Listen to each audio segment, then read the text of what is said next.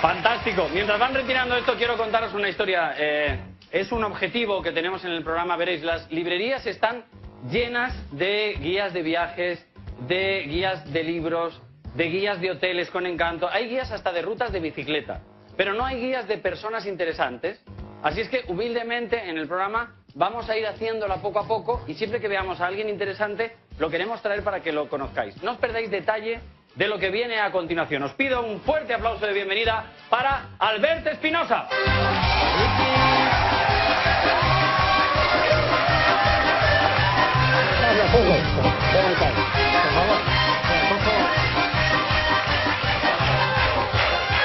Bueno, Albert, que tiene la novela en este momento más leída de España, porque es número uno en este momento. Albert tiene muchos éxitos, la novela se llama Si tú me dices ven, lo dejo todo. Eh, tiene muchos éxitos y quiero centrarme un momento en tus éxitos no profesionales, sino personales. ¿Vale? Eh, has tenido, eh, Albert, tres cánceres, eh, pero dices a modo de denuncia que en el hospital no te mueres de cáncer, te mueres de aburrimiento. De tus amigos muertos, durante esos 10 años que estuviste en el hospital, recuerdas un pacto, que es si uno muere nos repartimos su vida entre los que quedan. Hoy, en este momento, eh, vives 4,8 vidas, la tuya, y otras 3,8 vidas. Eh, a causa de los tres cánceres, eh, has perdido una pierna, has perdido un pulmón y medio hígado. Y eh, dices que todas estas pérdidas, y aquí te tengo que hacer ya la primera pregunta, que todas estas pérdidas se convierten en ganancias.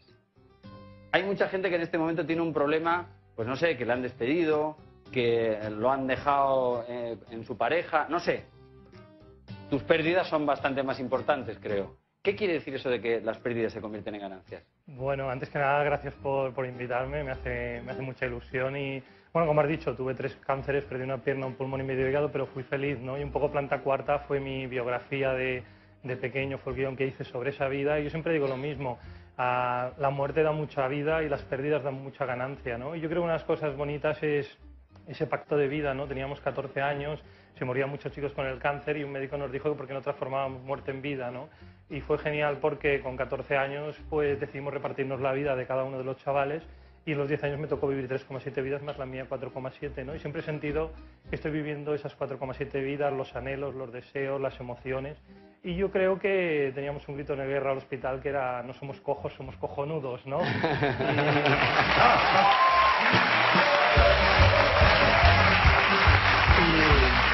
bueno, yo, creo que ahora es un momento muy feliz para mí. Como has dicho, el libro está número uno en España, pero fue número uno en San Jordi. Y para mí era un día importante porque yo perdí mi pierna un día de San Jordi, que siempre digo que es el mejor día para perder una pierna, porque en Cataluña se regalan rosas, se regalan libros y hay mucha felicidad. Y no solo que ser el número uno a mí, sino la gente que me regaló muchas cosas, ¿no?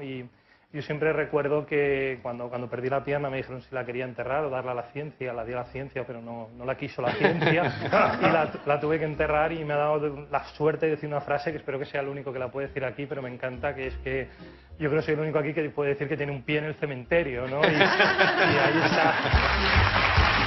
Le hiciste una fiesta de despedida a tu pierna. O sea, cuando te dieron la noticia, eh, creo que el médico te... Sí, el médico, yo tenía 14 años y me dijo que por qué no le hacía una fiesta de despedida para hacer un, un duelo, ¿no? Y bueno, pues me dijo que hice una fiesta de despedida a la pierna, invité a gente que, que tenía que ver con la pierna, invité a un portero de fútbol que le había metido 50 goles. Bueno, le metí, le metí uno, pero los enfermos de cáncer nos dejan decir de todo, le dije 50 y me dijo que sí. Luego una chica con la que hice piececillos bajo, bajo una mesa y finalmente hice un último baile a dos piernas y yo no tenía música, pero mi compañero de habitación era un fan de Machín y puso Espérame en el cielo, que era como muy ideal y mi último baile a dos piernas fue a ritmo de, de Espérame en el cielo y fue muy bonito porque cuando me cortaron la pierna no noté el fantasma, la sensación de notar la pierna cuando no la tienes, porque yo creo que me despedí tan bien que, que hasta el fantasma se fue. Pues qué bonito y qué chulo es. Oye, eh, ¿sabes?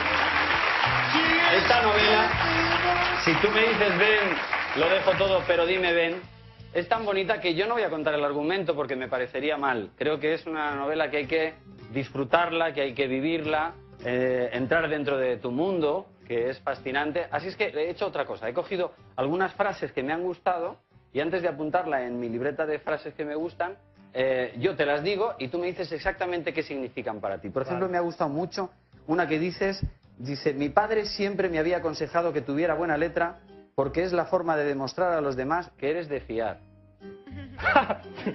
sí.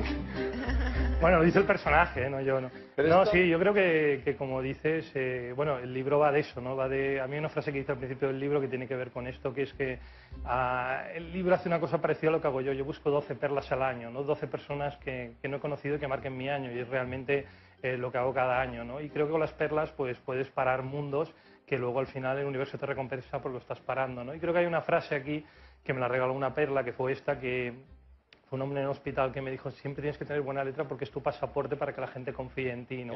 Y el hombre tenía una letra absolutamente preciosa y yo creo que fue un hombre que me marcó. Él me decía que había muy pocos susurros al cabo del año y que teníamos quizá dos minutos, tres minutos al cabo del año de susurros y siempre en la cama y él me aconsejaba que cada día susurrase un minuto, un minuto y medio. Y decía que el mundo iría mejor si susurrásemos mucho, ¿no? Y yo siempre he confiado en, en aquel hombre mucho. Qué bueno, qué bueno.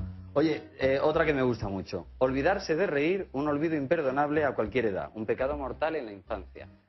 Sí, yo creo que es muy importante reír, yo creo que es muy importante la, la felicidad. Y yo creo que el protagonista al principio del libro le pasan muchas cosas, eh, le, le busca niños perdidos, le deja su novia y yo creo que hay una frase al principio del libro que me regalaron que es cuando crees que conoces todas las respuestas, llega el universo y te cambia todas las preguntas, ¿no? Y yo creo que al protagonista le cambia las preguntas y se olvida de, reír de pequeño, pero yo creo que hay que, hay que reír mucho. Ah. Eh, la felicidad no existe, solo existe ser feliz cada día.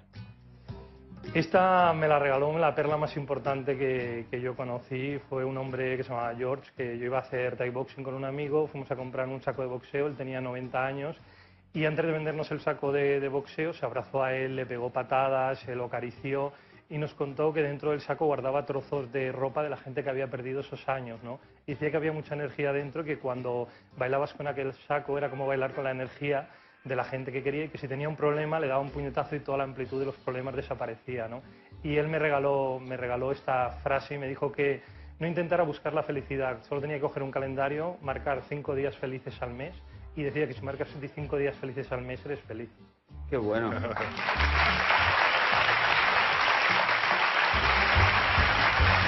Esta es... Dices, en la página 84 dices que es difícil hacer un ranking de lecciones de la vida. ¿Cuál es el mejor consejo que te han dado a ti? Wow. Bueno, yo creo que uno de los más importantes me lo dio Antonio Mercero con el, con el que dice Planta Cuarta, que él me dijo que la, la ternura era muy importante en la vida. Él dice que hay los 10 terroristas más buscados y los 10 ternuristas más buscados. Que hacer ternura es casi como un delito, ¿no? Y yo creo que una, una, amiga que yo tengo que es francesa, pues me dijo una frase que a mí me marcó, que es, ella habla mal el castellano y un día fue a pedir 100 gramos de ternera a la carnicería y pidió 100 gramos de ternura, ¿no? Y el carnicero le dijo, si tuviera ternura te daría un kilo y medio, ¿no? Y yo creo que ojalá tuviéramos sitios donde venden ternura.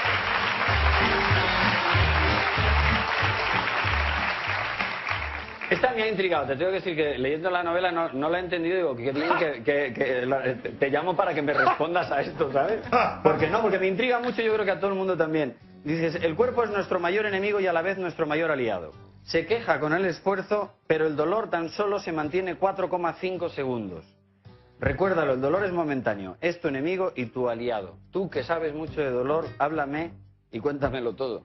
Bueno, yo, creo que cuando hice planta cuarta quise cambiar el tópico de los niños enfermos, ¿no? Yo creo que yo tuve 10 años cáncer y no tuve jamás dolor físico, teniendo dos cánceres de pierna, uno de pulmón, uno de hígado, ¿no? Existe el, dolor físico en el cáncer en un 10% de los casos, pero luego el dolor no existe tanto, sino es más de la quimioterapia y de las operaciones. Y yo conocí a un hombre en el hospital, un, un celador, que él me dijo que no existía el dolor, existía la palabra dolor, ¿no? Y cuando me ponían una aguja y me ponían bastantes para pincharme, él me dijo que me imaginara que no, era, no existía el dolor, sino una caricia entre el metal y mi piel.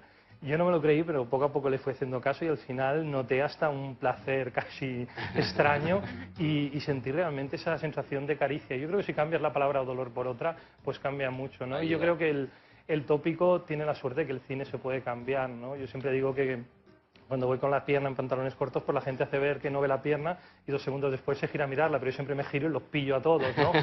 Y siempre le digo lo mismo, que no tengan miedo a preguntar, porque yo creo que la realidad al final, cuando la conoces, no da tanto miedo. Yo creo que el dolor y el sufrimiento, cuando vives con él, te sale una fuerza y no da tanto miedo. Ah, oye, es muy interesante saber esto.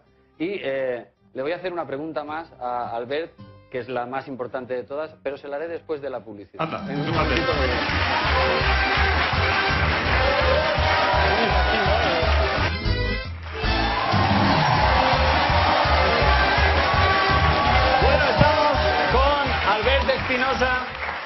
dices ven, lo dejo todo, pero dime ven.